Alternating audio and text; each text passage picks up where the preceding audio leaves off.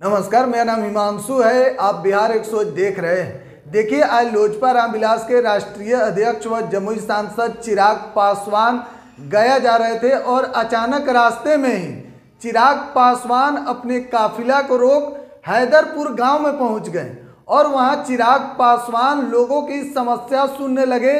तभी अचानक दो महिला आई और चिराग पासवान से लिपट कर रोने लगी।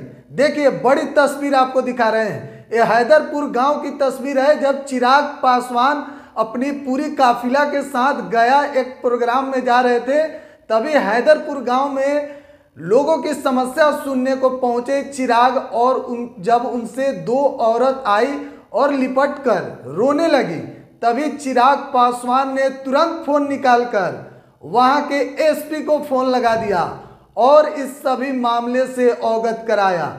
देखिए, बड़ी तस्वीर आपको हम एक्सक्लूसिव बिहार एक सोच पर दिखा रहे हैं। चिराग पासवान आज गया जाने के क्रम में।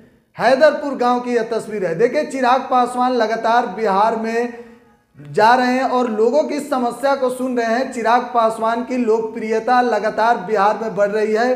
बिहार की राजनीति में चिराग पासवान का कद धीरे धीरे बढ़ते जा रहा है और चिराग पासवान जिस प्रकार आज गया में जाने के बाद नीतीश कुमार के खिलाफ मोर्चा खोले। देखिए, चिराग पासवान बिहार में जो बिजली का दर है, यानी कि कॉमर्शियल जो बिजली है, उसकी बात चिराग पासवान कहते हैं कि जो घरेलू में यूज़ हो रहा है, जो बिजली, उसके लिए इतना महँगा यूनिट क्यों है?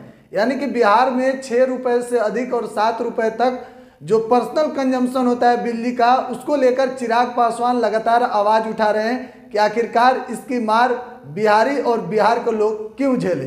देखिए, चिराग पासवान लगातार जिस प्रकार बिहार में एक एक जगह पर जा रहे हैं और लोगों की समस्या को सुन रहे हैं, कहीं ना कहीं चिराग पासवान की लोकप्रियता बढ़ती जा रही है। हालाँकि, बीजेपी के साथ भी चिराग पासवान की जो नज़दीकियाँ बढ़ने की बात आ रही है अब तो कहा जा रहा है कि चिराग पासवान बीजेपी के फेस से ही।